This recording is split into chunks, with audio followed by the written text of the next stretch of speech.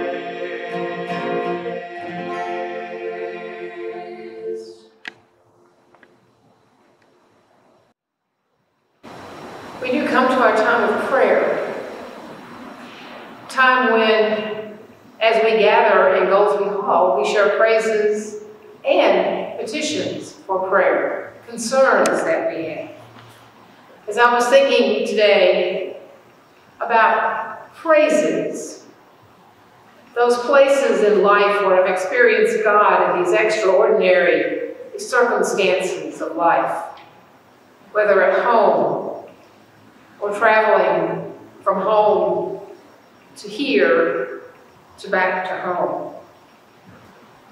Here are some of the things that came to my mind I'd like to share with you.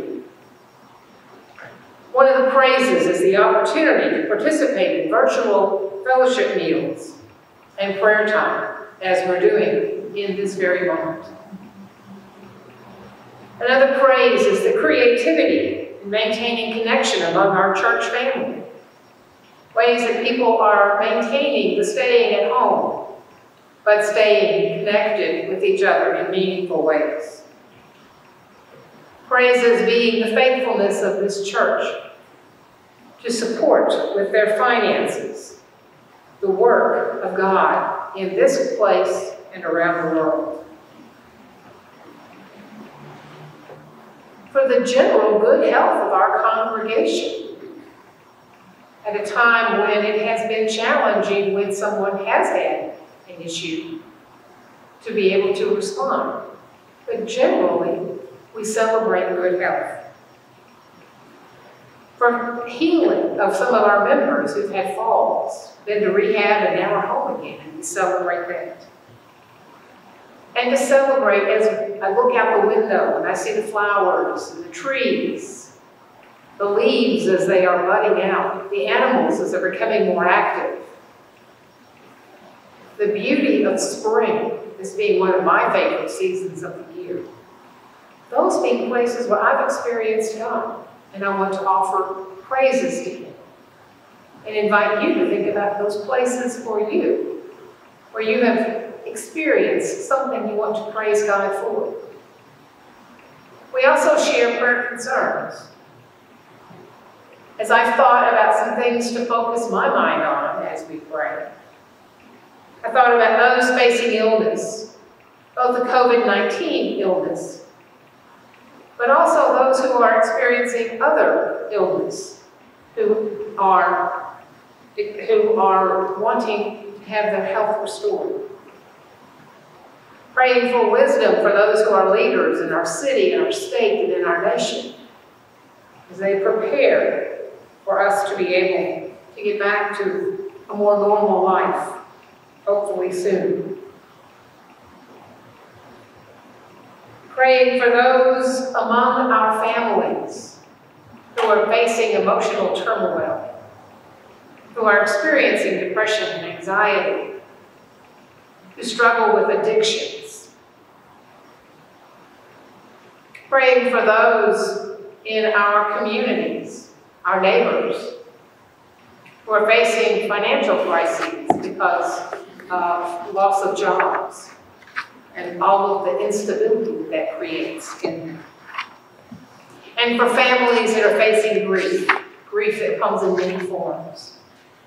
Grief that may be from the death of someone, but it may also be from the loss of a job, from a loss of security, from a loss of connection.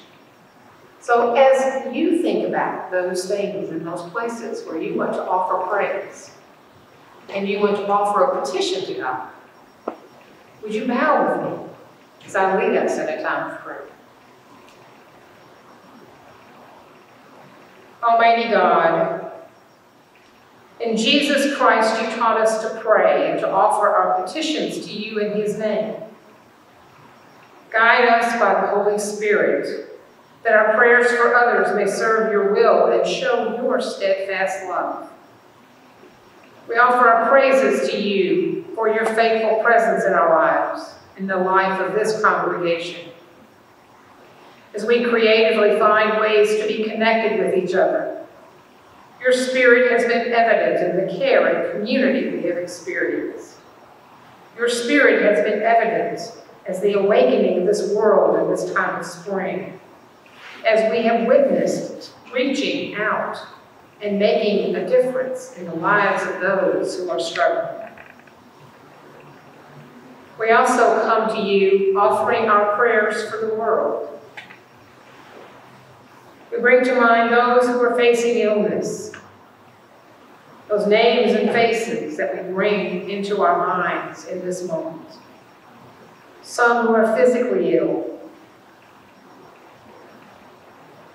some who are struggling in other ways other than physically. We pray not only for those who are experiencing illness, but for the family and medical personnel who are providing care for each one. We pray that the impact of the social distancing and interruptions to our jobs and financial security and our community support would be lessened. That we would find ways to maintain connection safely. That we would reach out to those for whom financial and job security is, has been shattered and be a support to them. We pray for those who grieve, especially those who grieve the death of family and friends. May the comfort of your presence surround them, even when the arms of friends are, are not there. May the words that we offer be the presence of your spirit with them. We pray for the mission of the church, this church and the church around the world. That your people would be a faithful witness to your love and grace. That as your people, we would spread the gospel message to the ends of the earth. O God, in your loving purpose, answer our prayers and fulfill our hopes. As we pray, trusting in your mercy, through Jesus Christ our Lord. Amen.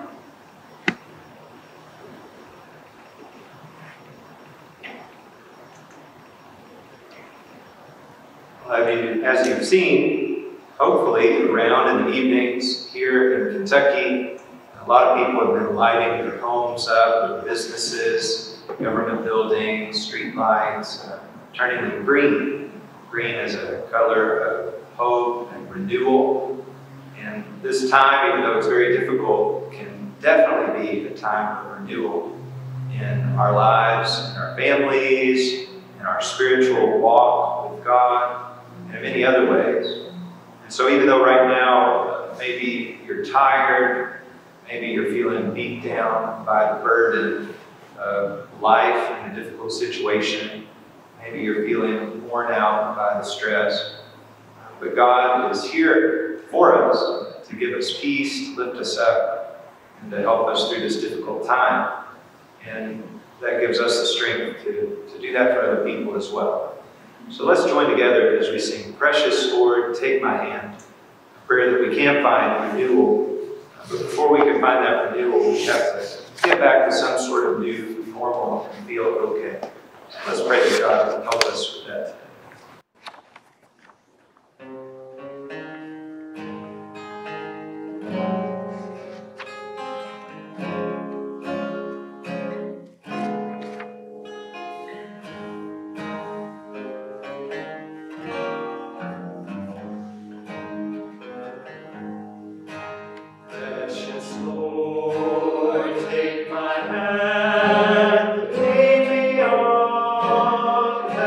Krishna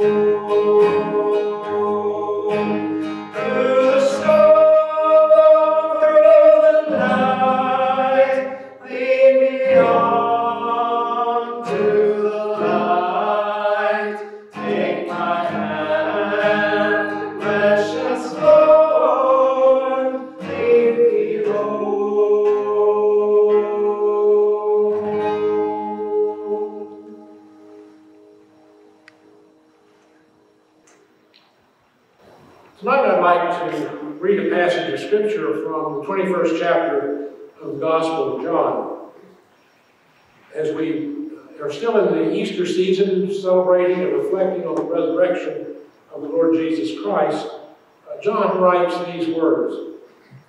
After these things, Jesus showed himself again to the disciples by the Sea of Tiberias, and he showed himself in this way.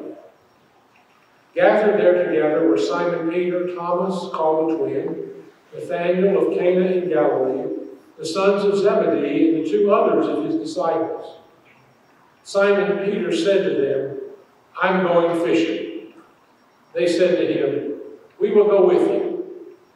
They went out and got into the boat, but that night they caught nothing. Just after daybreak, Jesus stood on the beach, but the disciples did not know that it was Jesus. And Jesus said to them, Children, you have no fish, have you? And they answered him, No. And he said to them, Cast the net to the right side of the boat, and you will find some. So they cast it. And now they were not able to haul it in because there were so many fish. That disciple whom Jesus loved said to Peter, It is the Lord. When Simon Peter heard that it was the Lord, he put on some clothes, for he was naked, and jumped into the sea. But the other disciples came in the boat, dragging the net full of fish. They were not far off from the land, only about a hundred yards. This incident in John's Gospel takes place um, on the heels of Jesus uh, appearing to Mary Magdalene after he had been raised from the dead. And then John records in the 20th chapter of John's Gospel that uh, Jesus appeared uh, to his disciples on the evening of his resurrection uh, and uh, showed them his hands and his side, uh, and that he had commissioned them. He had sent to them, As the Father has sent me, so I am sending you.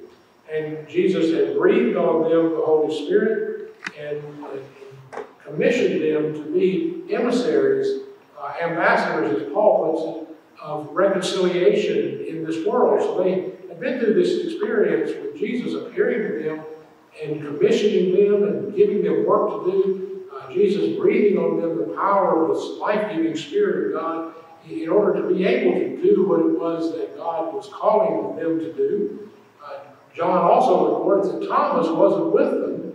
And so a week later, uh, when the disciples and Thomas are together, Jesus appears to them again and invites Thomas uh, to put his hands in Jesus' wounded hands and to stick his hands in Jesus' pierced side. And Thomas falls down and cries out, My Lord and my God.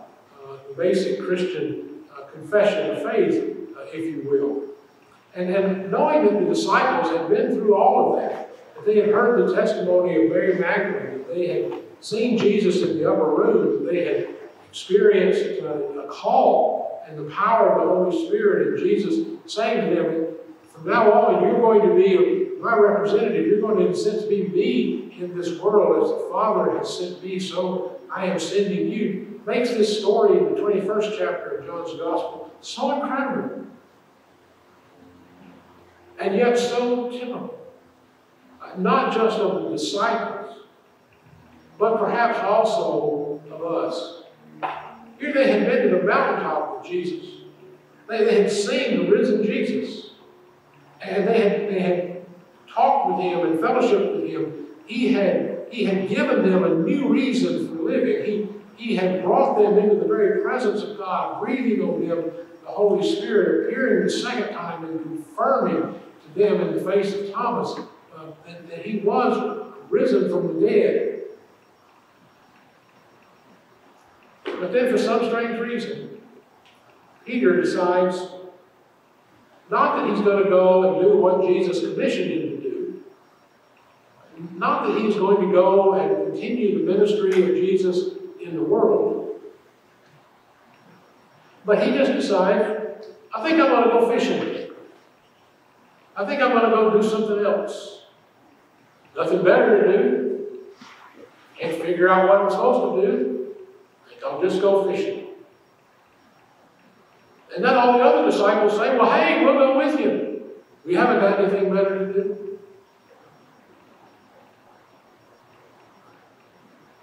It just amazes. And yet it shouldn't, because I know I've been there in my life. I've had these mountaintop experiences with God. Uh, those of us who grew up in Baptist life in the 60s, in the 70s, maybe even the 50s, uh, know that one of the places we used to love to go uh, as a church was the Ridgecrest or the Glorieta, to the Baptist conference centers there, where we would spend a week in worship and, and study, we'd spend a week with, with our fellow church persons, and, and it would be a mountaintop experience, and everybody would come back all charged up to either do Sunday school really well because you went to Sunday school week, or to do training union really well because you went to training union week, or, or the choir, the musicians, boy, they were going to really do a great, great music ministry after having been to Music Week uh, at Ridgecrest.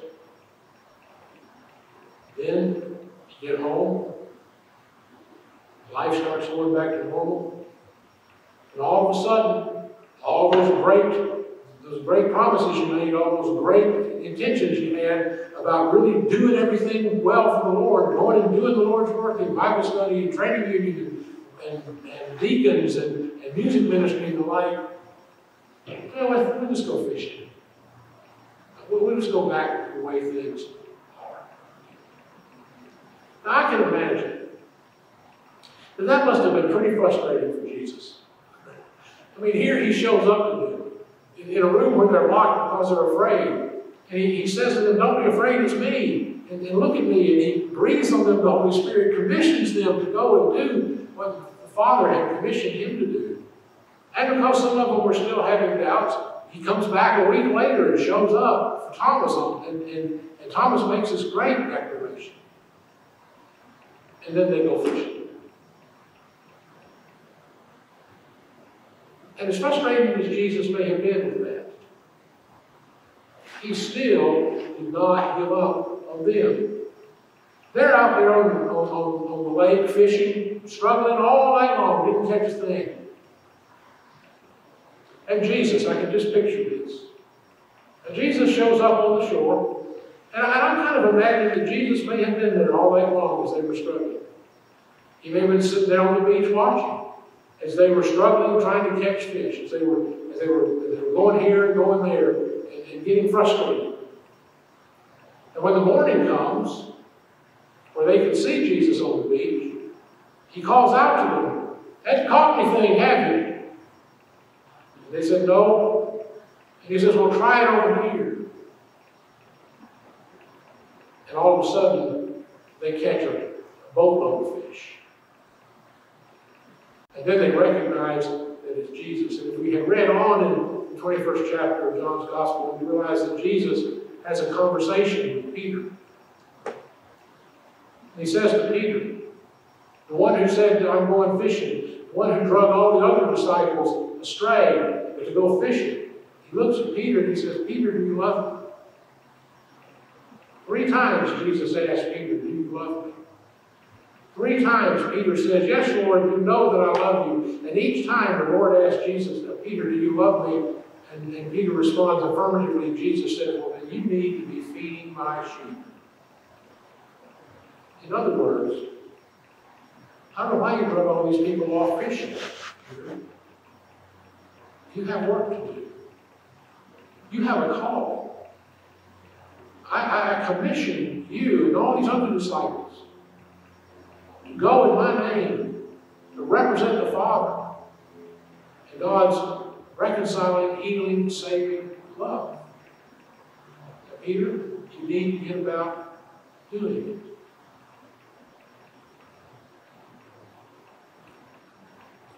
One, of the reasons why I think that John included this story in his gospel is because he knew that our tendency is to have high mountaintop experiences with God and get all excited in the presence of God, get all thrilled in the presence of God, get emotional and then get supercharged. But then to allow those feelings to dissipate and not follow through.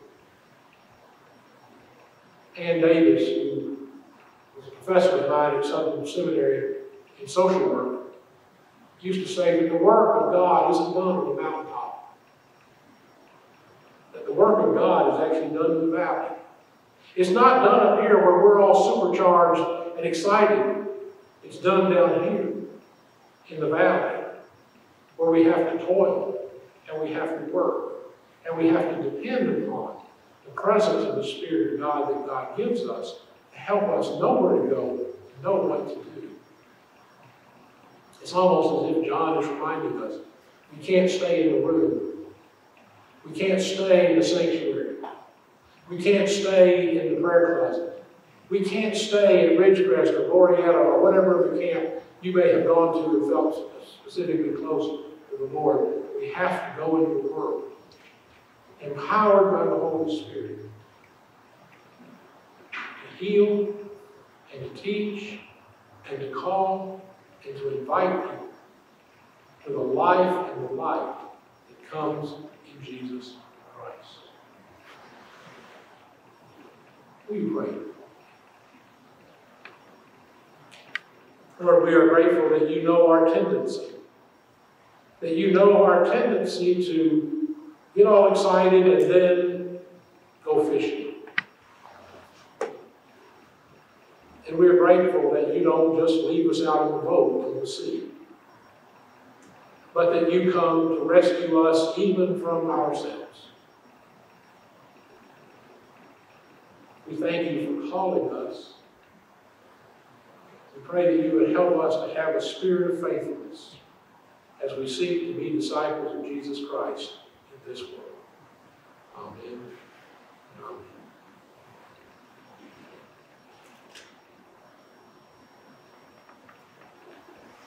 During this time, I hope that we remember that even though Jesus Christ, our Savior, experienced loneliness and isolation and difficulty, that we don't have to anymore because we have the Spirit of God with us. We have our Heavenly Father, the Son Jesus Christ, the Holy Spirit, all present to us at all times.